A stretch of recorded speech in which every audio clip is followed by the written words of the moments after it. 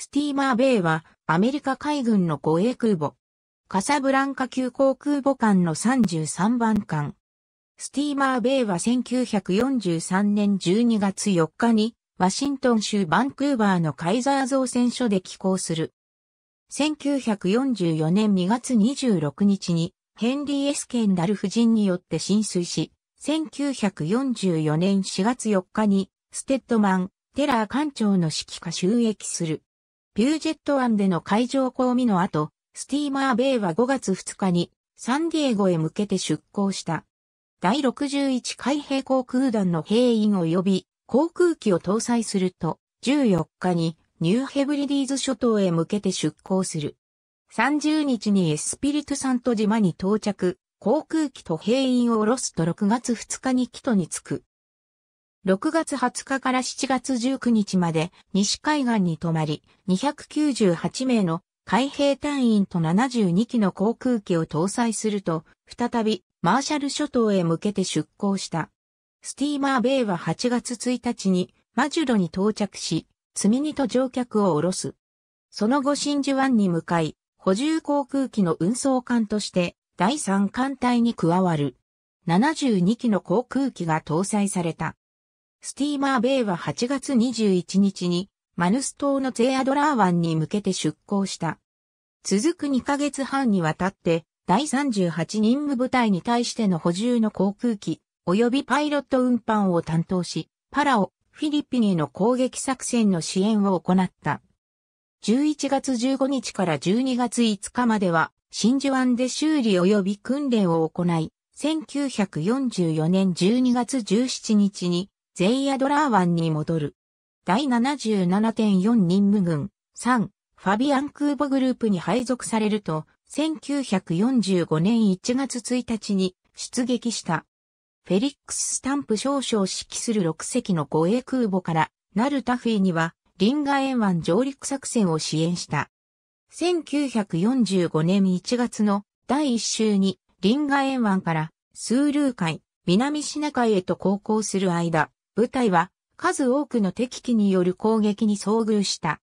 6隻の護衛空母のうち、オマニーベイは1月4日に特攻機による攻撃で、大破、沈没した。翌日には、マニラベイ及びサボアイランドは大きく損傷する。上陸作戦中護衛空母軍は1400回以上の出撃を行い、地上部隊を支援した。スティーマーベイは第7艦隊と共にフィリピン海域に泊まり、1月31日にウルシー干渉へ帰還した。2月5日から10日までウルシー干渉に停泊した後、第5艦隊と共に硫黄島攻略に向けて出港する。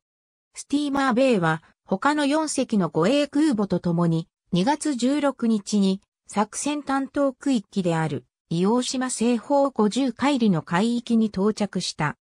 その任務は2月19日の作戦当日までに小笠原諸島の日本軍基地を無力化することと、作戦当日の海兵隊上陸部隊に対する航空支援、直接支援を行うことであった。スティーマーベイは3月7日に戦場を離脱し、12日にレーテ島のサンペドロ湾に到着した。3月27日に沖縄へ向けて出港し、4月1日の朝に沖縄本島南部の作戦海域に到着する。その後5月26日まで沖縄海域に泊まり、修理のためグアムのアプラ港に向かった。6月10日に宮古島東方の第三艦隊への合流を命じられ、先島諸島の日本軍基地への攻撃を支援する。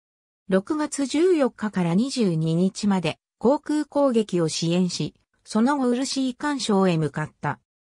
スティーマーベイは7月3日に、ウルシー干渉を出港し、日本本土に対する攻撃を行う、高速空母部隊の補給支援グループの援護を行う。